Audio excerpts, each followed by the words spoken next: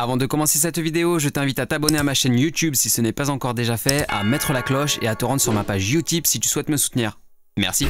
Bon, si jamais tu veux streamer de la guitare électrique par exemple sur ton live Twitch, bah tu risques d'être confronté peut-être à un petit problème. Par exemple, tu vas ouvrir ton DAW, tu vas y mettre ton simulateur d'ampli et tu vas vouloir envoyer tout ça dans OBS, ton logiciel qui te sert à streamer. Il se peut que le son qui sorte de ton DAW ne sorte pas dans OBS et pour ça, on va utiliser un petit plugin magique qui est gratuit qui s'appelle Voxengo Recorder. Tu vas voir, c'est extrêmement simple. Je te fais une petite démo. Euh, J'ai paumé mon médiator. Il s'était caché sur mon lit. Sur mon DAW, je vais activer le retour de ma guitare électrique euh, avec mon simulateur d'ampli qui est là, c'est Helix Native et je vais mettre la fenêtre d'OBS. Ouh, ce que c'est moche.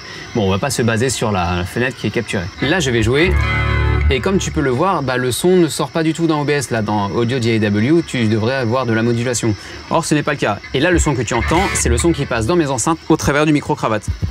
Désagréable. Hein ok, alors comment faire? On va avoir besoin d'une carte son par laquelle tout va transiter. Sur mon ordi, j'ai 3 ou 4 cartes son. Ici, je vais en utiliser 2. Pourquoi tu t'es ouvert à Vaston On s'en bat les couilles de toi. Personne ne t'aime. Non, te quittes. Je ne sais pas si ça fonctionne avec une seule carte son puisque je n'ai jamais essayé, mais ici tu vas voir ça va être très très simple. Dans OBS, dans la tranche capture de l'audio entrant, ici je l'ai renommé Audio JW, il va falloir sélectionner une carte son.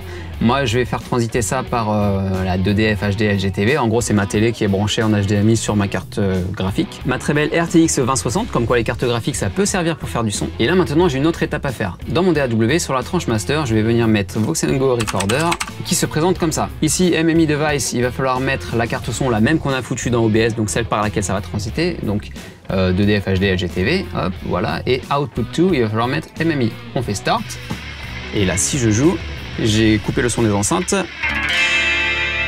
Oh là là là là, mais c'est magique, regarde dans OBS, on voit que ça module ici. Je vais remettre le son des enceintes et je vais couper ce micro-cravate pour que tu entendes quelque chose de correct.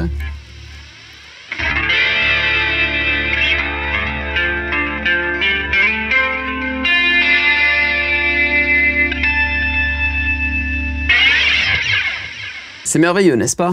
Allez, amuse-toi bien, je te dis à la prochaine, c'était Skyarn, ciao